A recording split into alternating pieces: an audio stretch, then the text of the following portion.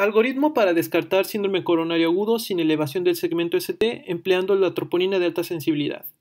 Nuestro paciente va a llegar al área de urgencias o al área crítica con dolor torácico agudo, por lo que nosotros debemos tomar las troponinas cardíacas de alta sensibilidad, habiendo dos opciones, que sea menor al límite superior normal o que sea mayor al límite superior normal. Si es menor y tiene una duración del dolor mayor a 6 horas, entonces nosotros vamos a darle seguimiento hasta que se retire el dolor, tenga un puntaje de Grace menor a 140 y que se excluya diagnósticos diferenciales, pudiéndolo dar de alta o realizándose una prueba de estrés por protocolo de cardiología.